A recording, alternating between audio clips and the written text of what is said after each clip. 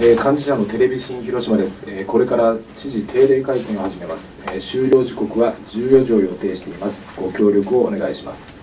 えまず知事からの発表がありますのでお願いします。はい、えー、私から発表項目1点、えー、ございます。メキシコオリンピックチームの広島での事前合宿受け入れの決定についてでございます。2020年東京オリンピック・パラリンピックに向けたあメキシコオリンピックチームの事前合宿について、えー、メキシコシティにおきまして現地時間8月28日、えー、午前10時日本時間で8月29日午前0時にメキシコオリンピック委員会から26競技団体の代表者や報道関係者に対して広島県内における競技ごとの合宿地が発表をされました。えー、それによりますと県内10市町で事前合宿が実施されることが決定しました、えー、ここで現地から発表の様子をですね動画でご覧いただきたいと思います。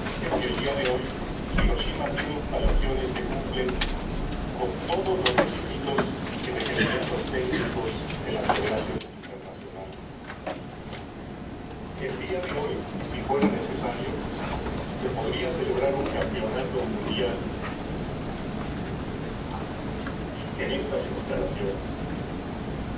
En estas instalaciones que hoy le ofrece al Comité Olímpico Mexicano para la preparación de los deportes.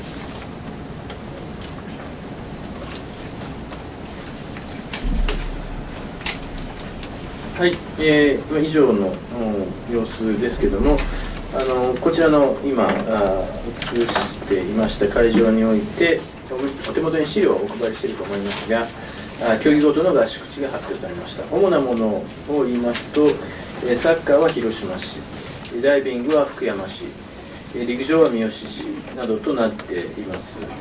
えー、繰り返しになりますが詳細はお手元の資料でご確認いただければと思います。今後についてですが、10月以降に個別の競技団体による視察が行われます。来年度以降、順次、県内で合宿が、あまあ、これはまず事前合宿ということになりますけれども、合宿が行われていくことになりますので、え万全の体制で受け入れに向けた準備を進めてまいりたいと考えているところでございます。はい、私からは以上です。この件について質問がある者は挙手をして社名を名乗ってからお願いします RCC の小林です、えー、今回、えー、26競技が受け入れ決定と受け入れ始末も決定したということなんですけれどもこの中にビーチバレーボールが入っているかと思いますあの福岡県の自治体と、ある意味25位のような形が生まれていました、はい、この件の経緯を教えていただきたいと思いますはい、あのまあ、経緯といいますか、えー、これ以前からご説明している通り、メキシコオリンピック委員会と、メキシコのバレーボール協会の方で、調整をしておりまして、その結果として、今回2点、えー、MOC とバレーボール協会との間で、えー、確認 2, 点を確認する、まあ、MOU のようなものを、えー、合意をされています。で、えーまあ、そういう報告をいただいたんですが2020年の最終合宿地は MOC が決定権を持つということとで2点目があその MOC が広島の合宿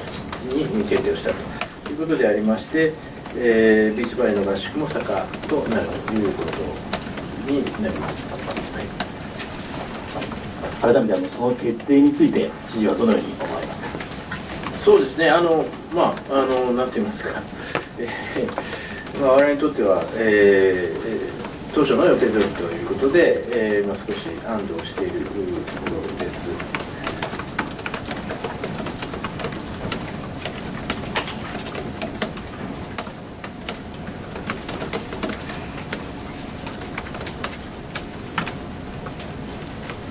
中国新聞藤村です。この26種目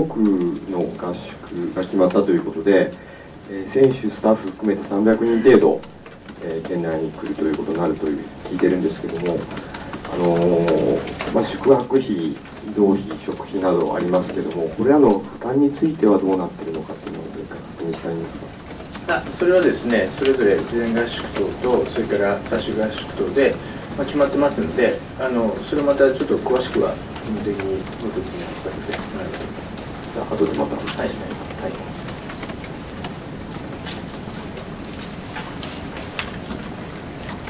え他に質問がある者はありますでしょうか NHK の畑ですあの改めてこの26競技が 10, 10もの市町で県内で行われるとい。うことについ。て知事のご感想を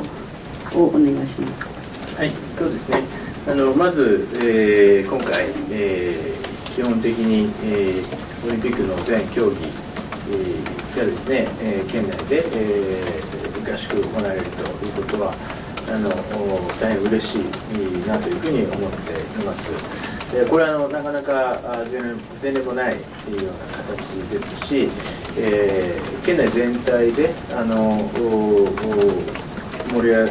立って、えーいければなというふうに思います。まあ、残念ながらあの手を挙げてきて、えーこの線に漏れたところもあるんですけれども、これはあのおお弁護士側でですね、えーまあ、一定やはりこう集約をしないと、まあ、いろんなあの法律の問題とか不都合もあるので、まあ、こういう形になりましたけれども、できればやはり県全体で応援をしていくという盛り上がりにつながってでメキシコオリンピックチームが活躍をしていただいて、えー我々もあのそれ、でまたあの、えー喜ぶというですねそういうことになったらいいなと思います。